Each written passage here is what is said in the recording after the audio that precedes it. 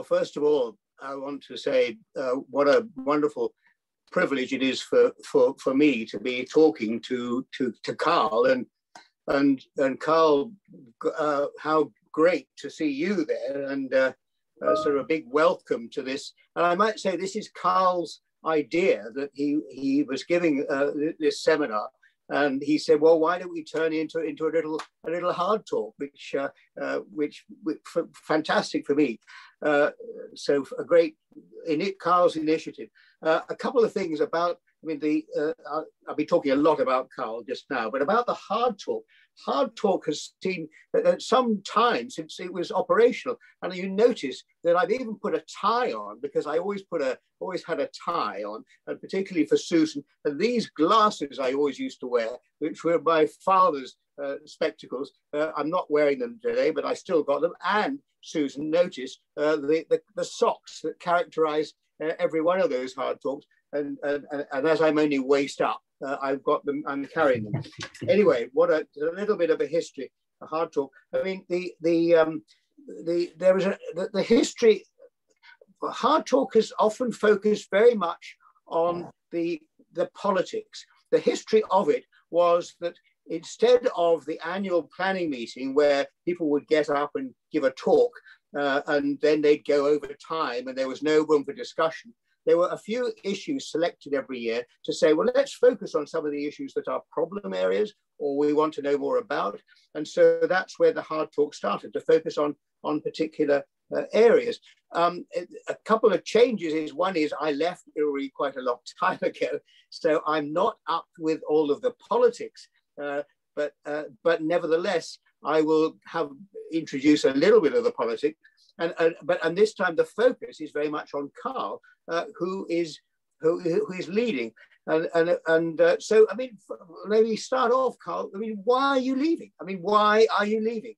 Is it is it is it politics or career advancement or or uh, why why are you going? Um, I can say yes.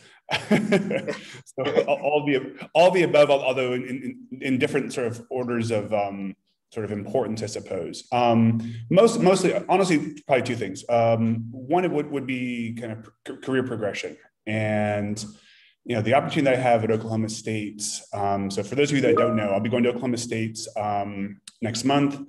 Um, I will wear three hats. I will be the director of their Master of International Agriculture program, which is an interdisciplinary program that prepares uh, master students for international careers uh, from a variety of different ag, ag fields. So not just economists, but nutritionists, food scientists, animal scientists, vets, and so on. So a really nice opportunity to kind of use the skills that, I, that I've obtained at ILRI to, to help kind of shape careers.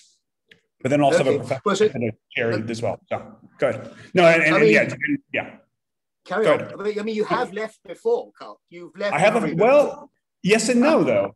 I have left before and I haven't, though, right? Because I mean, if you look at my my tenure at ILRI, at ILRI, um, you know, I've essentially been continuously affiliated in some fashion or form with ILRI since 2006.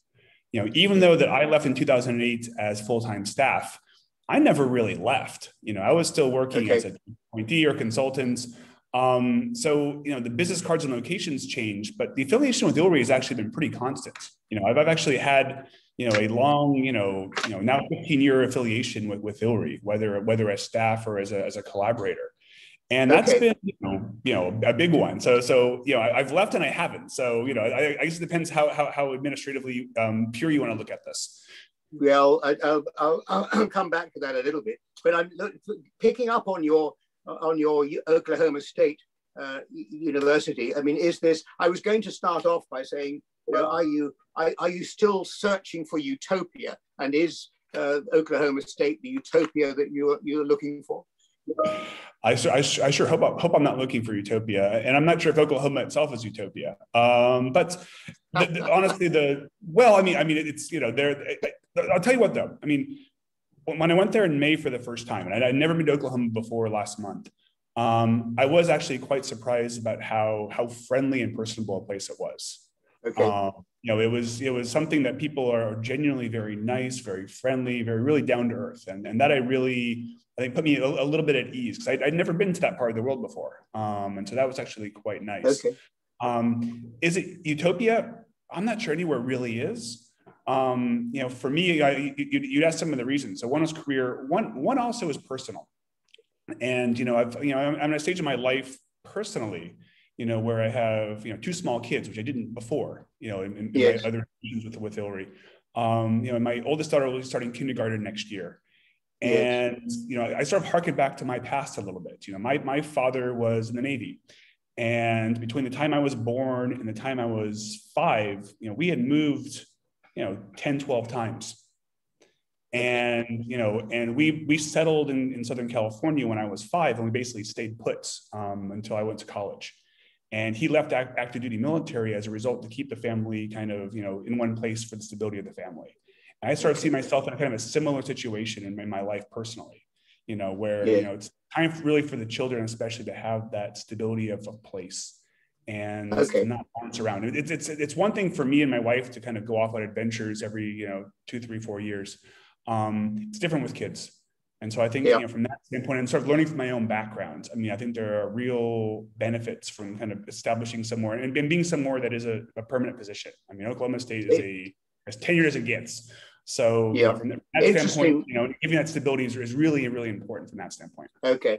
No, I understood that that was also a, a, a big part of it. I mean, the uh, the, the the School of Global Studies uh, is uh, 20 years old, so it's a younger institution than than ILRI, which is what 45 or something like mm-hmm. this. But I notice you're one of these Humphrey endowed chairs in the School of Global Studies. And I also noticed that there are six of them. So there are a lot to, you've got to have a bit of bit of jostling there. I mean, do they all have different roles? I mean, you've got to get on with them all. So that's going to be an interesting challenge. Tell me more about that. Yeah, the, the global chairs basically the, there are different global there are different chairs for different uh, parts of the of, of, the university, and so mine is associated with the, with the College of Agriculture. There are other chairs in different parts of the university.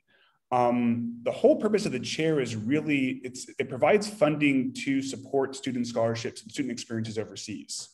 And so I'll control, if I'm not mistaken, somewhere around eighty, ninety thousand dollars a year to to send students to different places overseas. You know, so basically to support scholarships.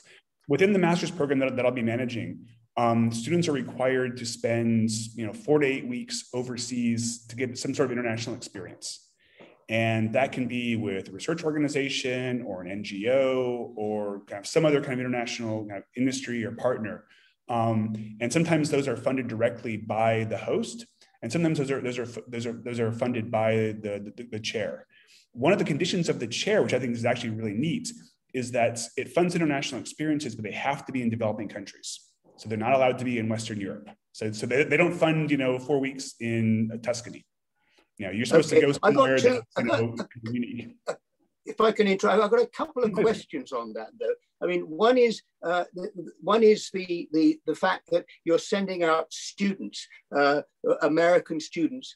Uh, one of the great challenges that we've had at ILRI is building. I mean, is building, sending, getting students involved and, and educating students has been fine. It's strengthening institutions uh, that has always been the challenge, uh, so that those those students can stay in Africa or wherever the country are, is and not be catapulted back through the sort of career development type of thing that you're looking at into uh, that. So that's one point. The other point is that in in, in, there is more, more and more skepticism about Westerners going to uh, as visiting students to different developing countries. I mean, great for experience, and I encourage it. But you've got to somehow they've got to be fitted in in the right way with the right political links and and and and not this you know we're coming in to sort of sort your problems out type of thing. How do you respond to that? No, I, I, think it's a, it's a, it's a, it's a valid point. Um, for me, I'm, I'm, looking at it from a different angle um, in terms of trying to, to enrich Americans who are often not very worldly to go overseas. Yeah. And I think from that standpoint, you know, this kind of experience is, is, is incredibly eye-opening. You know, a student, you know, that's, you know, coming from rural Oklahoma, you know, on, on, a, on a large farm that hasn't been, you know, 50 Ks from, from where they've lived to suddenly catapult them somewhere where they can actually use some of their skills and mutually learn. So it's not just about them kind of going in there and having all the answers. but to instill upon them sort of, you know, you're there to, to learn and they're to learn from you. And so I think as long as that kind of communication is two way and that it's not sort of extractive, yeah. and that's not the point of the program at all.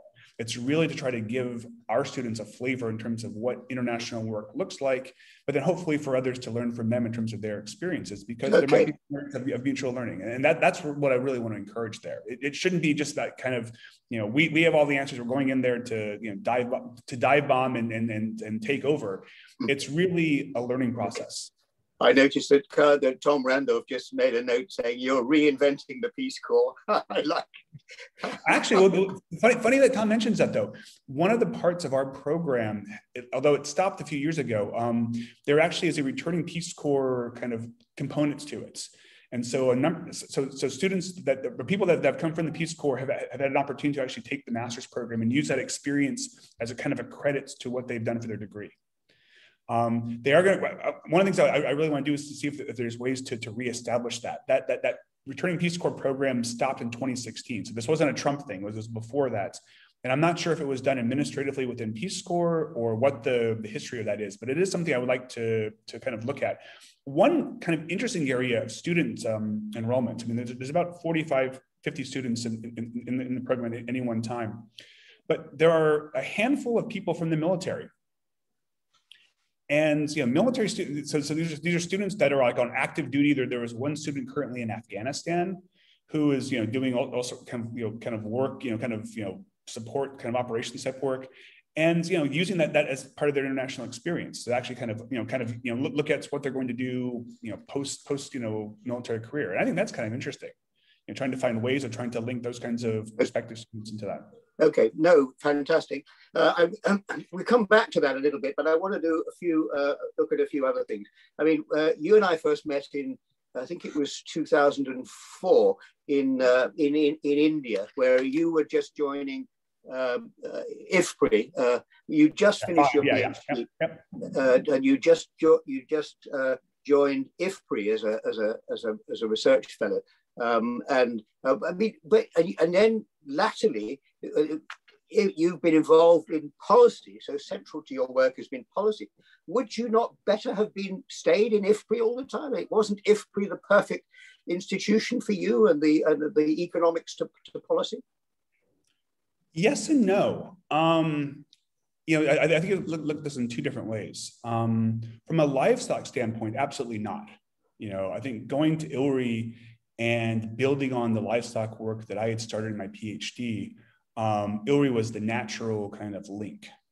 And yes. being able to have that kind of platform to engage not solely with economists, but across different sorts of livestock disciplines.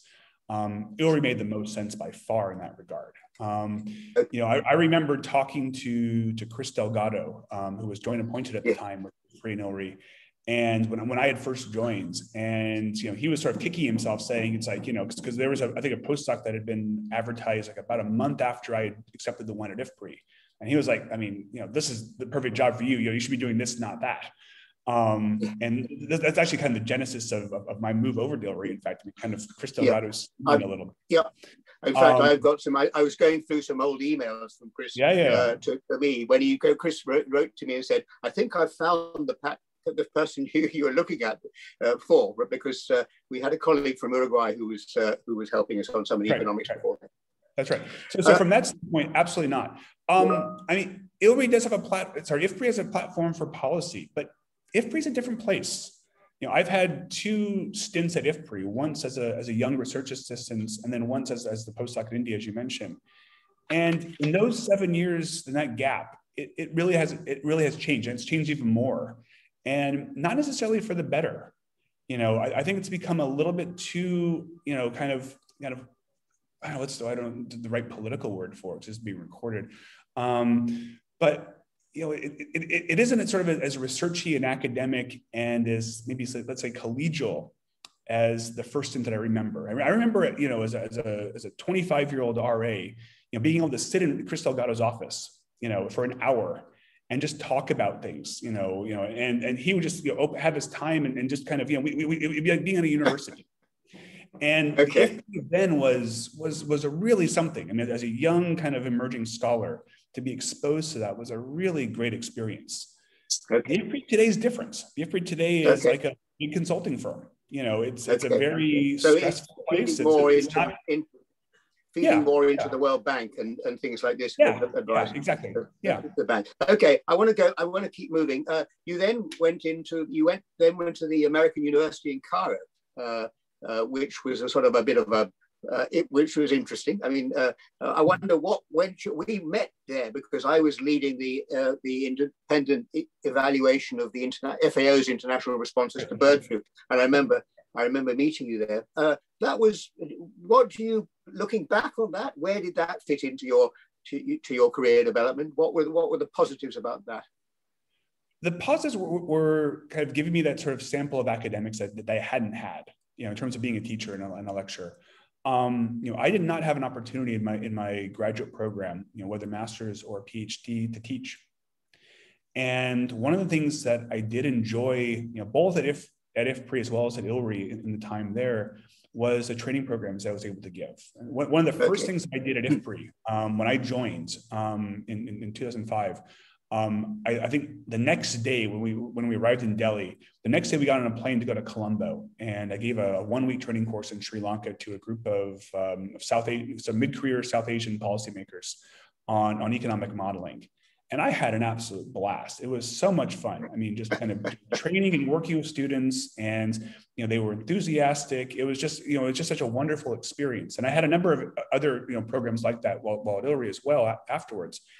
And you know, I, I did sort of see that there was something in my career that I wanted to see. Is that something that I could do? You know, because you know that kind of engagements with with students, that's commitment okay. to learning, that mentorship, also, that was something that was there. You also had that because you then went on for four years for the Norwegian Institute of International Affairs, uh, mm-hmm. uh, which was again a bit different, sort of a bit uh, uh, left field. I mean, given or, or, or not. I mean, uh, you you. I, I, it was fantastic because we had become uh, we become heavily involved in, in various things, uh, and so you I got invited to do a couple of collaborations with you, and you were heavily involved in Namibia. I did a something for the institute on uh, on the trade in flowers out of Ethiopia, Kenya, and Tanzania because Norway not being in the EU, and that was fascinating uh, uh, for me. What so Norway? Tell me about that. Looking back on that, and where did that fit into your uh, into your overall contribution? Um, yeah. Um, at the time, I mean, I mean, so so so going to Egypt. I mean, the, the, experience in Egypt was was was positive in the sense of I, I really enjoyed the teaching. Um, living in Egypt and commuting an hour and a half each way in Cairo traffic was not so nice from quality of life standpoints. Um, yeah. I mean, it was physically just exhausting. You know, I, I, you just come home broken every day. Um, and so, you know, it, it was really kind of a um, partly mental health just to kind of get to somewhere probably a little bit saner. But then also to have an ex- kind of a, a place where I could really try to consolidate out my research. And one of the great things about about being in Norway was the freedom. You know, your your remit in Norway was, you know, if you if you have the funds, you can do whatever you want. Yeah. There was, I mean, there, I mean, it was as horizontal as an organization as, as, as it gets. You know, you know, we, you know, we've all the perform, performance evaluations at ILRI and this kind of stuff. A performance evaluation in Norway was, is everything okay? Yep. Okay. We'll talk next year. That was it. so an incredibly laid back, open, free place and a okay. great place in terms of collaboration with ILRI to really build up some of this kind of systems modeling stuff that I've been working with with colleagues. You know, that was okay. a great opportunity to do that because it basically I had, I had, a chance to experiment. We had funding from from ILRI. This is sort of the, the glory days of the of the first CRP, where you know you know CG centers were, were, were flush with cash, and so there's opportunities to collaborate. And it was a great chance to to build that program. So okay. yeah, that was that that, that I mean, yeah, wonderful. Certainly, I you I remember you were very very productive there and you did, did all sorts of then it was Lincoln University in New Zealand again uh, uh, uh, off you went I, I, I had one of the things I always said yes to was uh, your inquiries or requests to be able to write references and I and suddenly another one new one came up after New Zealand so that was again uh, took me by surprise uh, you, you were uh, assistant professor or associate professor of agribusiness. So you, you, you were into a slightly different field. Uh, mm. um, fun or bureaucracy yeah, yes. or no? Um, oh, bureaucracy, sure. I mean, it's it's it's a it's um, you know it's a university, so certainly some bureaucracy. I was I was head of department for a little bit, so there was certainly some interesting um, you know issues you have to deal with as far as department and other politics. So so certainly that. Um, no, I really enjoyed it. I, I had some of the most fantastic students. Um, you know, 80% of the students in the agribusiness and rural development program were NZ students.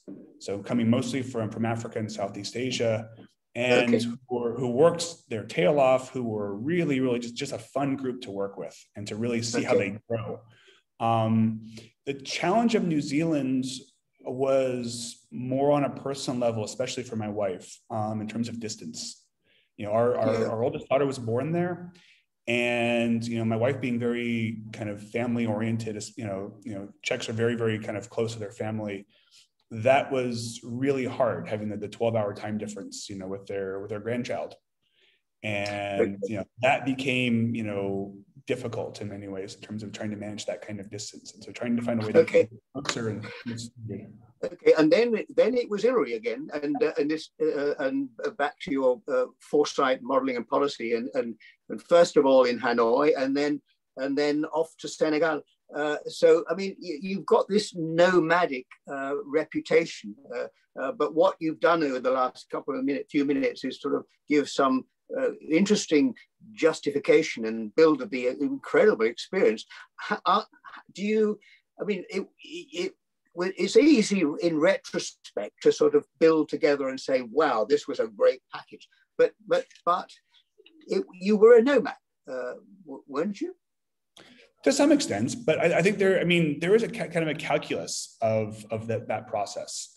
Um, you know, there, there's sort of there's sort of some order in, in, in that in that randomness in terms of what kind of what motivated it. And you know, looking back on it, I mean, I don't really kind of have any regrets in terms of that process because I think it's built, been allowed me to build, you know, what I've been able to do as a researcher today.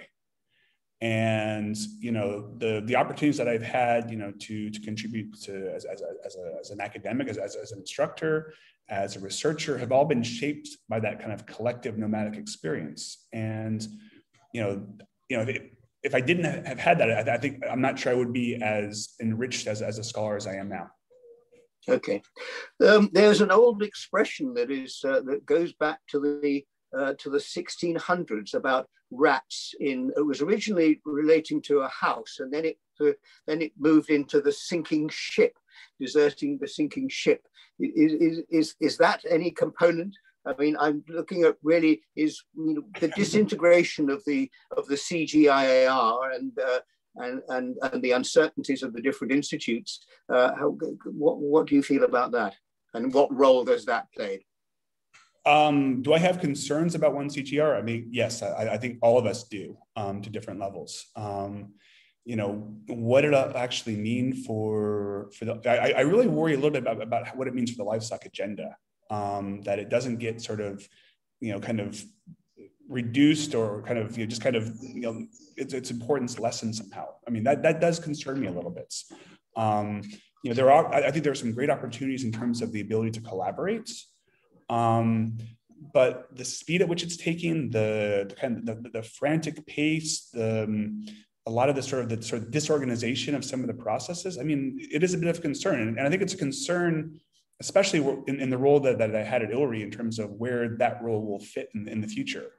And does that role still stay with livestock? Does that role go to, to IFPRI?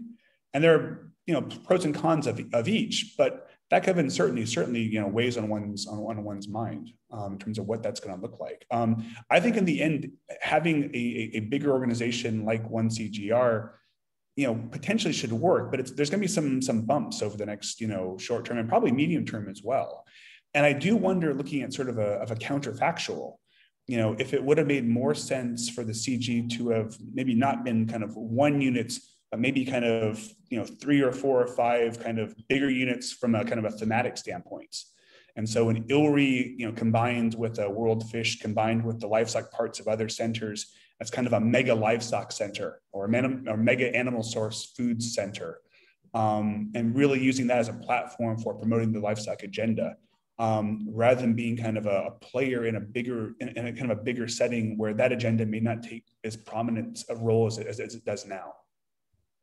Because it's, it's I mean, the, it, the spectrum has changed so much. I mean, ILRI was comfortable in East Africa. Then along came, you know, 2005 or four or five, where ILRI was uh, out of Africa and it sort of moved, and it was so. And then and then it's been struggling to find it, its position.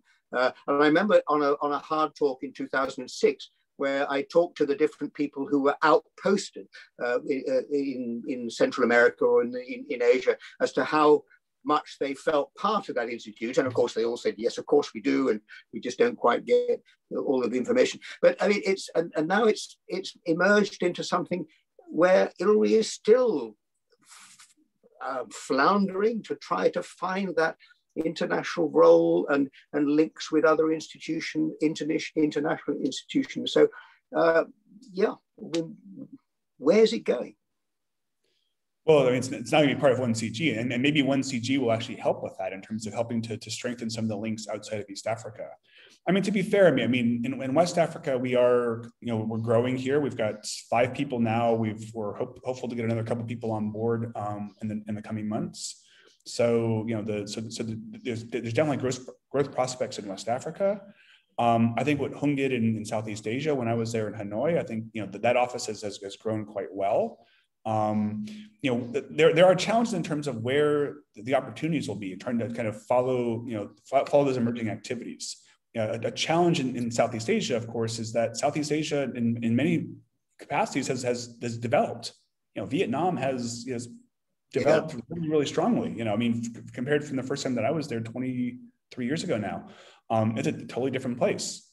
And so, you know, trying to figure out kind of where we're positioned and, and to be flexible enough to actually, you know, be able to pivot to where those opportunities are. That, that, I think I think that's probably more of, a, of an issue that ILRI has in the regions, rather than its regional strategy as such. You know, I, I think I, I, I, think we have done a nice job of expanding in some kind of core areas. But I think we also need to recognize that sometimes those core areas actually do change, and some of those core demands change as far as where we need to be. Now, that is something that I think IFPRI does better a better job than we do. Like they they will open and close off like country offices depending on where the work is. Um, we have not sort of done that yet, and maybe that's something that we explore a little bit. You know, thinking about how do we need to scale up one office and maybe kind of de-emphasize another one based on what those needs are.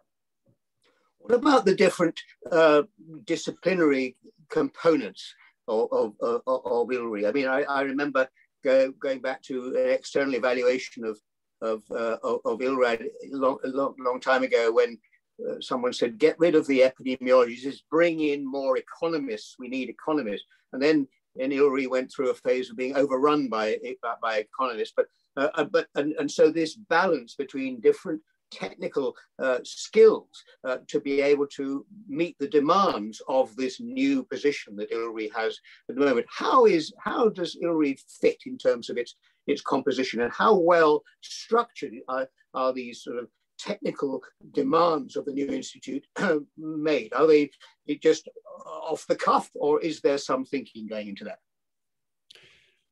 I think the overall composition right now is I mean, in terms of like, you know, the balance between social scientists, um, epidemiologists, and so on, um, I think on balance is, is not too bad. I think the, the bigger problem is I think we're probably short staffed across the board. You know, the amount of stuff that we're doing in terms of the demands on, on, on ILRI and research staff time, I think is, is, is huge. And we probably don't have enough people across the board, whether it's enough vets, enough economists, enough animal scientists, and so on. I think we certainly need, need more people um, just to help to, to, kind of just support what we do. Where I think there, there probably could be a, a bit more kind of inter, what's probably needed is probably a bit more integration. Um, you know, we're still a little bit siloed in terms of, you know, especially like on, on, on, the, on the health work you know, it would be nice to see a bit more more integration across some of the, the health work and maybe across some of the things like genetics and otherwise, where we can actually have, you know, a proper integration of social scientists within the different types of technical disciplines. I'm not sure we, we do as good a job as we could. I, I think we're getting there. And, and I think there's a lot of goodwill towards that. You know, so talking to, to, to colleagues, you know, in, in, in, different programs, different groups, I think people do recognize the value of working together. I think it's just trying to find those opportunities to do that. Okay, we we um, we, we spent some time in uh, working together in in Ethiopia on uh, on commodity-based trade, and there was also some DFID consultancies we did on that. Uh, where is commodity-based trade th these days? I mean, I remember going through on the different things, structuring the different disease constraints and the different opportunities, and you did a great job in analyzing the dynamics of, of, of livestock product trade. Where, where is that as a, as a force now, or is it no, is it, is it no force? I think it's there. I mean, I think it's something that that OIE and trading partners really need to decide what they want to do with. I mean, there's certainly an advocacy group for commodity-based trade, and you know, you know, Gavin, who just recently passed on, was one of the champions of that. But there's been others in Namibia that, that have really tried to focused on this, to, to focus on this. Um, there's some work, and, and, and, you know him pretty well. Um, Andres Perez is doing some work in East Africa right now, um, looking at you know the potential for for you know, for exports from, from East Africa of livestock products, and trying to, to do some participatory risk analysis to understand these kinds of things. Um, and I, I, I, do think that one of the, the benefits of the work that we did was to really kind of move the needle in terms of, of, of that discussion, that it's not just technical, and that commodity-based trade is only an initial step and it's not the, the full step. And, I've, I've, I've, had some, some one of Andres' PhD students who I'm, who I'm supervising um, we, we have these long debates about this because Andres is convinced that, you know, oh, yeah, we can export all this meat from Uganda, you know, to, to the Middle East. I'm thinking, that's right. He is. Yeah. It's not going to happen. Yeah. and, and, and, his, students, his, his student has done actually a great job. She's, she's done some work look, trying to measure the prevalence of FMD in different production systems in, in Uganda. And, you know, it's pretty shocking. I mean, the, the, the estimated prevalence of like, uh, of FMD from like pastoral systems is just, you know, yeah through the roof and, then sort of like looking at this and, and, but then trying to weave a narrative about this saying that you know you've got a lot more problems than exports. And andres trying to say no but we could actually handle this. And it's like mm, not so much right? So i'm gonna uh, i'm gonna show you something. This is so this is uh, we got that uh, photo. Where's the photo of simeon? This is uh, you in a slaughterhouse in, in ethiopia during that uh, uh, during that moment. Uh, if I then go on, uh, this is you looking in a much more comfortable position in, uh, in the uh, Cavalry and Guards Club in London when we were discussing the finalization of the Uruguay study. And then, and then this is in Montevideo in Uruguay when we were finalizing that. And so that brings me what I what I wanted to bring that in to say is that Uruguay study, which we completed, uh, was uh, a return for you to foot and mouth disease. Foot and mouth disease and South America was where you got your PhD. Tu Jarvis was uh, was was, a, uh, was your one of your mentors. Uh, uh, how where where did what did the Uruguay is the Uruguay study?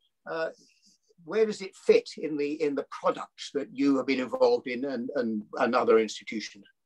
I mean, that, that, that was a real kind of kind of a culmination of many of the things that, that had done previously, right? I mean, it, it really combines some of the PhD work from long ago, the commodity-based trade work, a lot of the sort of the policy work. I mean, that was a fantastic experience, as, as you're well aware. I think we had a great time um, engaging with with with with government there, and, and, it, and it's sort of a unique experience too. Um, you know, the, the, the Uruguayan you know, government is you know the capacity is very strong. They're very committed. They ask you know very tough questions, but you know they really are you know they really you know use this evidence to kind of help to shape their their policy, whether it's going to be you know accepting what we've come up with or not. They, they've been a bit more conservative than than we've suggested.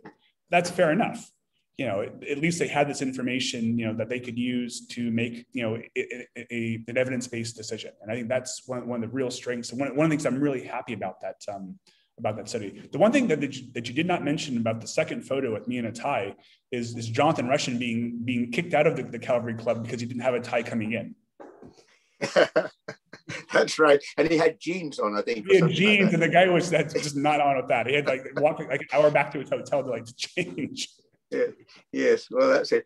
Um, one of the things that has uh, that has affected us all, and, and possibly has affected the uh, the taking decisions based on the study in Uruguay, but globally is the uh, is COVID-19 uh, and, and so tell me about the work that you've been doing or others in ILRI or what you might may be doing in the future on the economics of COVID-19 regarding to uh, smallholder uh, livestock settings and, and livelihoods, etc. I mean, what, what, what, what, is, what is going on and what is the future for that? Because it must have had an enormous impact, but it's dissecting all these bits and pieces out. Yeah, I mean, I mean, Isabel's a better a better source in terms of some of the stuff on the the kind of value chain side to, to consult on this. I mean, my group has not done as much as we probably could. Um, you know, we've we've done a little bit. I mean, we're part of um, a COVID hub that uh, that Hung's Hung's helping to lead, where we're trying to understand um, some of the the drivers of, of, of, wildlife trade and how that actually contributes to, to COVID to the, to the potential outbreaks of things like COVID and to understand ways of trying to, to mitigate those risks okay. in the future. So we are contributing to that, which I think is really exciting. Um, we haven't done as much on the modeling side. And, you know, part of it is it's because we're just pretty much flat out on, on everything else. Um, IFPRI has taken a slightly different tact on this. I and mean, basically, I think IFPRI has basically dropped everything to like kind of do all things COVID last year, um, which we haven't. Um, is that a good or bad thing? I mean, you know, that's kind of remains to be seen. I mean, I think at some point we will have to kind of reflect a little bit on this and, and have some types of foresight analyses that maybe kind of look back. Um, but part of our, our challenge has been simply having the, the resources to actually kind of be able to, to engage in those kinds of things. So, so we, we have been strategic. We, have done some things in Vietnam, as I mentioned. Um, Nadim, before he left, did a, a, nice little study trying to look at some of the, the effects on the East Africa, um, trade to the Horn of Africa. Um, and, and, the impacts on the Hajj and so on that, that, that, just came out a few months ago. So we've done some some small things, but we probably haven't got probably engaged as much as we could. Um, and so, you know, that that's perhaps a missed opportunity, but part of it's also just you know, the nature of what we're doing. We've got just so much going on, and it's difficult for us to say, okay, we do COVID, but not a livestock master plan. So okay. these are the kind of steps we've had to, to make. How will your your work in the moving on to Oklahoma? How will the engagement with some of the important international organizations, the FAOs, the OIEs, uh, the, how will that be affected? Presumably, there'll be a, a, lot less, or, or, or am I wrong? You mean in terms of from ILRI or from from? No, in terms of from you, uh, your yeah, your um, new job. You will. You'll be. It's, it's going to be more academic. Uh, more, so, more, uh, yeah. Yeah, um, I mean, less, less, to, less on one level. Um, you know, one of the things I, I, do want to, to hope for though is to try to engage more students at some of the networks that I've had. And so to the extent that I can actually work with, you know, to bring my master students into some of my research and, and NGO and other networks uh, to kind of build their careers, um, kind of to work with them as advisors, as mentors. I mean, that, that, that is an area that, that I will cultivate. Um, but in terms of like directs kind of, you know, doing kind of consultancies or, or those kinds of things, I mean, that will be less, at least from a direct standpoint. Um, I, I, do plan to be kind of a kind of a puppet master behind the scenes though for, for, for others. Okay, so I mean, I for, having been working in a development agenda, you're now going to a comfortable academic position uh, in in a yes university, uh, uh, so uh, which is sort of doing research that is, but how do you make sure that you still keep this connection with with with impact and linking to the sustainable development goals and, and, and this type of thing? Um, my work has always been applied and it's always been kind of focused on on kind of current policy issues and so so because of that and because of, of that kind of focus of being very practically oriented I don't think I'm going to sort of devolve into the, the esoteric and the kind of academic as far as what I do next.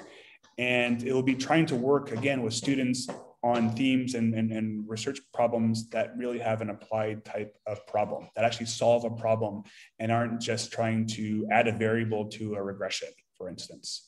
And so, I mean, it, it will be a challenge to try to, to make sure that I, I, keep those those those contexts current, and that, that's something that I will have to, to balance. Okay. But I don't see myself, you know, kind of all of a sudden doing theoretical research that has no bearing on on anything. I mean, that's just that's not what I'll be doing. Okay, um, I, am looking at time, but my last question before maybe other people might want to ask you that. the the economics of uh, of of working equids in agriculture and smallholder settings uh, th throughout the, uh, doesn't seem to exist. And, and, as you may know, it's one of my uh, one of my favorite uh, things, yes. and we're I'm writing something at the moment uh, about this. So uh, I, I, was when I was in Colombia in the end of 2019 and seeing these diverse settings. So you've got the coffee uh, and, and the role of horses and mules. You've got the uh, the sugar cane. Uh, you've got the water down at the coast and the, and the role of donkeys. Uh, you, have got uh, potatoes being moved and the marketing there. I mean, that's just a little cameo, but it's it is so important and it's just not on the development agenda is that and because there are no figures there is not anything to link in the, the, the, these different enterprises with livelihoods and, and to, to encourage more. What is your view about that? Am I just, is it just a fantasy of, of mine? I, I, it's an important sector. I mean, I, I mean, I'm reminded of it every day in West Africa. I mean, the, the, the yes, number of, of working yes, you see, you know, I mean, there, there are donkey and horse carts everywhere. I mean, they're the ones that, that, that bring kind of small supplies, you know, from place to place. They collect the garbage. They, there's so many things that you see, yeah. you know, a role for, for, for working equids. Um, I guess one of the, the, the issues is sort of what is the, what's, what's, what's, what's the intervention here? What is the sort of the, you know, what is the end game? What, what, what are you trying to move towards? I think maybe that question hasn't been very well articulated. You know, understanding the livelihoods and understanding kind of the, the contributions, you know, as sort of a baseline kind of set of information, I think is really important. And, and, and as you mentioned, you know, lacking. But what do we use with that information? What is sort of that's, you know, you know what is the, the sort of the next step with that? And perhaps, you know, trying to, to, to articulate a bit better, you know, where we're trying to intervene or where we're trying to promote to, to allow that agenda to emerge, I think would, would, would help that quite a bit. Okay, okay, fair, fair comment. It's uh, um, uh, I, I, Isabel. I, am just very conscious of the fact that other people may want to make a comment or or, or, or, or question, um, but uh, but certainly been. Uh, I, have uh, gone through uh, a lot of my notes and um, yeah, I look back. this this was a momentous thing, by the way, of, of, of yes. also, which was uh, which was uh, doing the that that great gathering of uh, of people looking at foot and mouth research needed for endemic settings in developing countries, which you were you were a huge part of. Um, uh, Isabel, would, uh, would you like uh, to open the floor? Yes, great. Thanks, um, thanks, Brian and Karl. Obviously, I think we can all clap virtually or not uh, on that. Very, very much uh, appreciated. Thanks, uh, Karl, for your insight. Some people are saying that we should do it more often when people are not leaving so that we can get to know each other better. So thanks, Brian, for that.